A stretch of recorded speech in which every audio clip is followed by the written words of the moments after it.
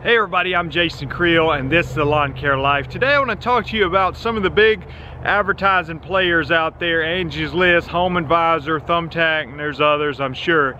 But I want to talk to you about whether you should consider doing this in your lawn care business. I want to share you uh, with you a story about my experience. Let's get started.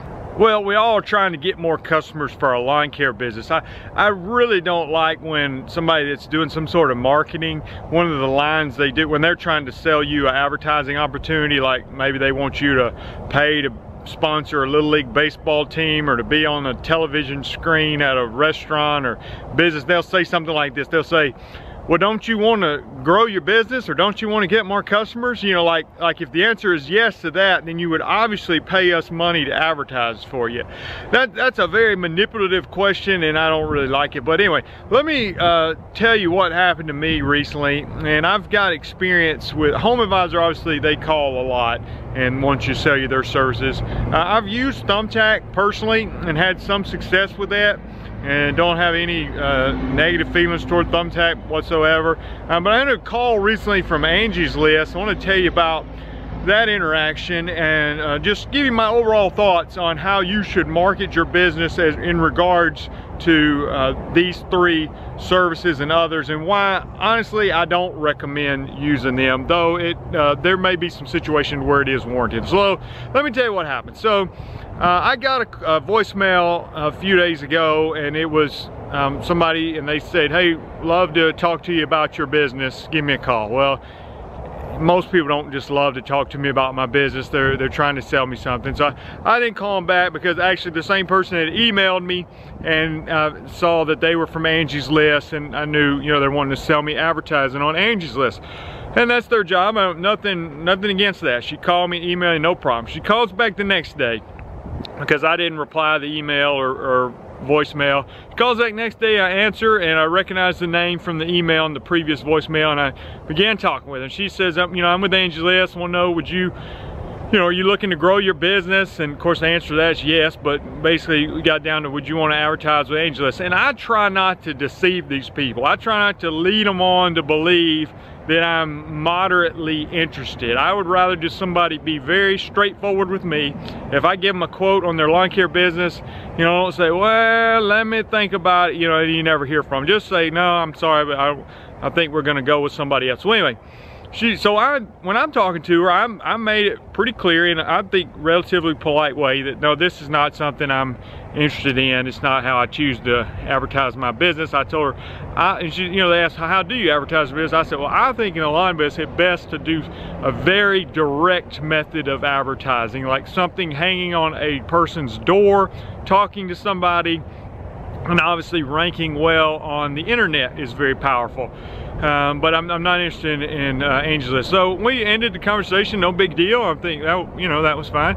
Uh, well, then I got a call back the next day from the same person. And, and, and, if I sound confused, I was confused. I was like, wait, you know, I, I made no hint about that I was moderately interested, but she says, hey, I, you know, I know we talked yesterday. I was just seeing if you had made up a decision uh, yet on what you was wanting to do. And I was like, yeah, I made up a decision. I'm, I'm not interested. I'm 0% interested in doing it. And she says, well, why? And I said, well, let me just tell you. And I, I think we're gonna have a conversation. I don't, I don't, I can talk to you about why, literally why I'm not against it. I said, here's, here's my theory. And this is um, what I'm wanting to get across is I, I personally want rely on the internet pretty heavily as far as marketing my business. I said I want my lawn business to be number one on Google and on the other search engines when somebody searches for lawn care in my area.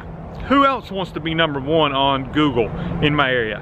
Home Advisor, Thumbtack, Angie's List, they want to be number one. I want to be number one. We're basically competitors. So what, I mean, basically what they're asking me to do is, would you pay me to compete against your local business, your own website, to rank ahead of you on Google.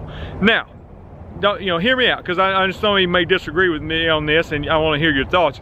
If, let's just say they're number one, and you want to pay them to advertise for you and to list you as one of their companies, there's nothing wrong with that per se, but I think it's, you can't convince me that it's actually a better option than just ranking ahead of them on Google Uh, alone, you know, because here's the deal. When I go to Angie's List, it tells me something like the top 10 lawn care companies in my area.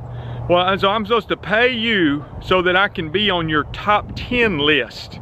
Well, what if I can show up on the first page of Google for free. I mean, you know, through search engine optimization, things like that. What if that, you know, which is gonna be better? I'm one of 10 choices, or you go to my website, which has a, a video of me talking about my business, everything that all the information I want to put on there and I'm the only option on that website. I don't say, welcome to my, you know, lawn care business and if you don't like me, here's three of my other competitors. You should give them a call. I don't, there's none of that on there. It's, it's my company or nobody. Uh, now they can obviously go back to Google and find some competitors, but anyway, so I explained that, and I and I was a little more direct the second time around because to be honest with you, the first time you call, okay, you called, that, that's fine. I answered. They, they got me with the local area code, you know, my own personal area code. So I answered. It's not some number from California, and um, but the second time, after I told you no, now you're impeding on my time, okay? You inconvenience me. And I was clear yesterday, so I'm a little bit more direct. I don't want to do it. And I said, honestly, I don't want to, you know, and she, I don't want to compete against you. I'd rather rank number one. She says, well, you are competing. We are competing against you, and that's why you need to pay us, because we're competing against you. I said, well, I'd rather just rank ahead of you on Google. And she, and she says, uh, she told me that, and this is what I, this is what bothered me. This is where the conversation came to a abrupt halt.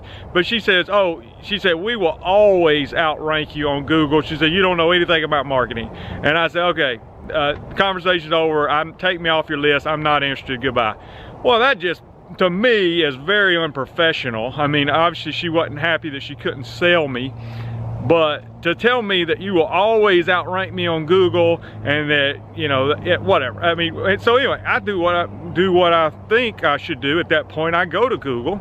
You got to be careful when you're searching for your own lawn business. You might need to go what they call incognito on Google or log out um, so that it's not showing your past search results. Because if you, some people think, oh, I'm ranking number one on Google, and all it really is is you've clicked on your own website 12 times, so Google, you know, puts it first when you search for it, but you're not actually Google uh, number one when somebody else searches. So anyway, I, I go in there and I search for uh, lawn care in my city. And guess what? Who's number one? Home Advisor. It's not me. It's Home Advisor. They're number one. And uh, Number two was one of my competitors. Now that, you know, I would like to be in that spot. I like to be number one, obviously. But I'd like to be at least the first local lawn business. Number three, I believe if I remember this correctly, was me. Actually, Home Advisor had the top two spots, which which is, you know, whatever. So then, you, then you had a, one of my competitors, then you had my business, then you had another local uh, business, and then you had Angie's List. So it made what you know, of course she told me we will always rank ahead of you on Google. You don't know nothing about marketing. And I thought, well, I guess always must start tomorrow because as of today, you're not ranked ahead of me. And it's not about that. It's just the point of, of the way talk to me just bothered me. But, but anyway, uh, I, I think it, I'm not against paying some big company to, to advertise. You might pay Facebook to, to put you and show you in people's feed, or you might uh, pay Google to, to show up in the Google ads. And I've seen people who rank number one on Google, and they're also paying Google to put them up in the, the ad section of Google. So it's kind of like double dipping. There's a attorney in my area, and this is hilarious. People that live uh, around here know who I'm talking about, I'm sure, because he's he's basically famous. But he is the billboard king of the world, okay, or at least our area, maybe not the world. But he will put a bill, I have a double decker billboard there with a billboard on top of a billboard. He'll buy them both. He'll put an exact same billboard. It'll be his picture and a, a personal injury attorney and then below it, same guy. And then on the back of it, it'll be him again. And then something, he's got so many billboards that some he just plays games with. Like literally, he'll take his billboard and he'll put it upside down. It'll be the, the exact same ad upside down. He's just toying with people. Um, but so some people have first rank on Google and they're also paying to be the first, you know, ad on Google.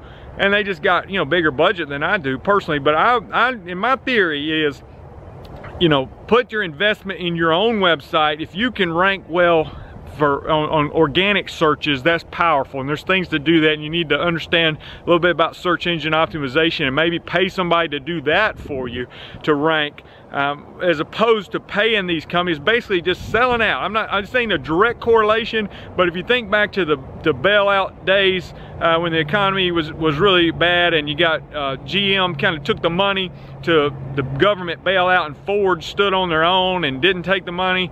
You know, it's kind of like that. Am I going to sell out and just give in to Thumbtack and Home Advisor again? It's not, I'm not, it's not bad to use these companies. I'm not saying that. I'm just saying I would love it better. I think a better option is I can rank ahead of them on my own. That was the one thing we did agree with on the phone conversation.